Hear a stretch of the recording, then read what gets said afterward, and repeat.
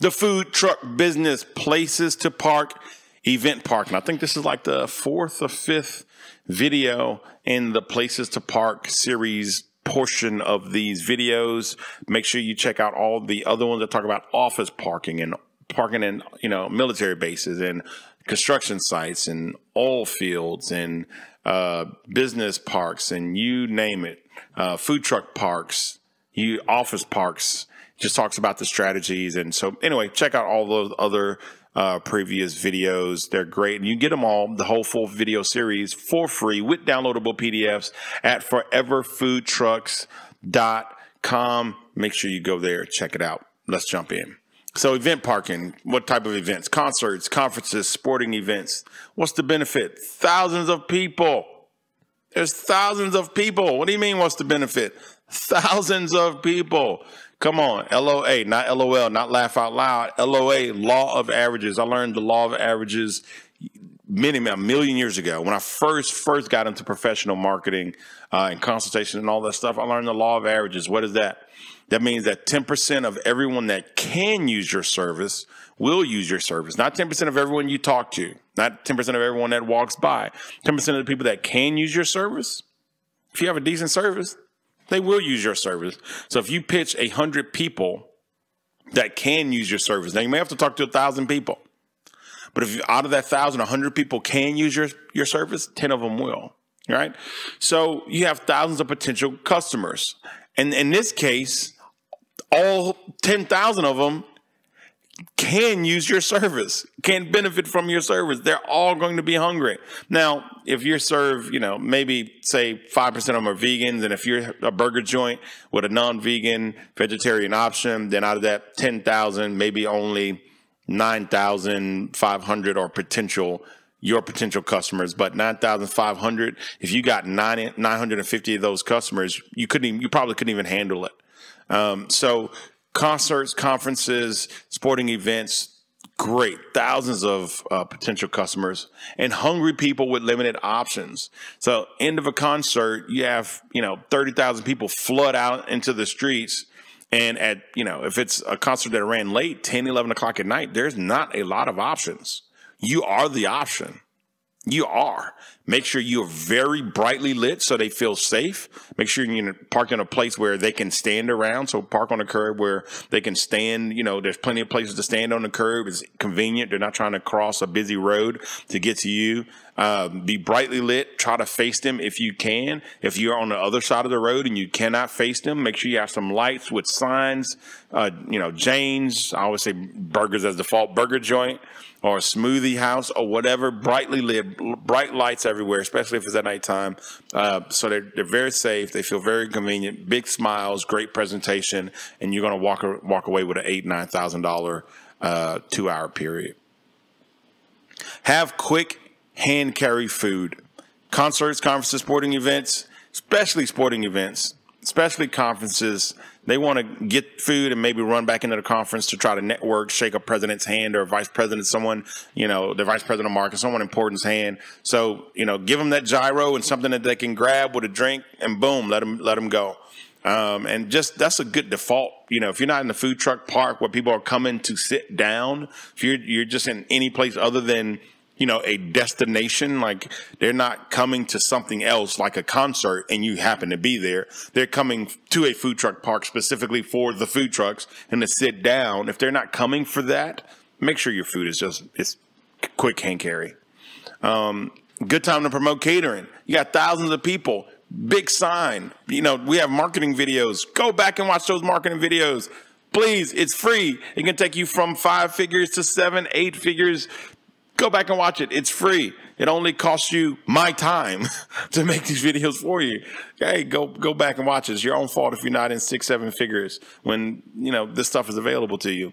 But good time to promote, market, and cater. And if you can capture, oh geez, you know, my goodness, and that's I think they go over that in the Teachable. I think I review all that stuff in the teach, Teachable. If you can capture, man, you know, capture phone numbers, emails, you know, make it part of your square where they have to enter their phone number in and whatever, and then you could text out, use like a textedly type service. But anyway, that's some advanced sales funnel type stuff. And when I say it will make you money, it will make you big, big time money. Be fast, of course. Concert, conference, sporting event. There's intermissions. You know, lunch break during the conferences. You need to be fast, and that's a general rule of thumb. The faster you are, the more people you can see, um, and the more money you can make. If you can see um, 30 people in an hour, hey, that's that's great, right? You're talking about 30 people in an hour on a average $12 ticket, right? You're talking about 360 bucks in an hour.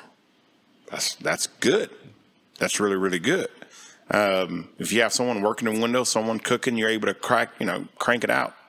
That's that's really really good. Um, and then you know, in four hours, you've made your two grand, and you're gone. And that's where that's where you should be. If we're talking about where you should be, you should be. That's where you should be. 360 an hour. Shoot for it. You know, but once again, you got to be fast.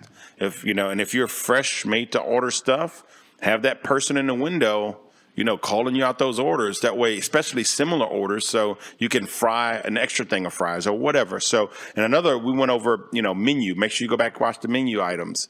Your stuff should be simple. The more complicated your menu, the longer it takes and the less people you can serve. And you need to compensate for that. If you're doing all fresh stuff, all your ticket made, you need, you may need to increase your average ticket cost to 15 bucks, right? So you may need to increase your prices. If you're in a market that won't handle the 15 buck ticket, then you need to be really fast with the 12 buck ticket. Nightclubs. Let's talk about nightclubs because uh, it's technically an event. They have events at nightclubs, and the nightclub itself is kind of an event. People going there to to do their thing. They're not going there to shop or listen. They're going to dance and have a good time, just like at a sporting event or a concert. So tons of people, not as many people as like a concert or a conference per se, where they're renting out this, you know, this, you know, 30,000 square foot place.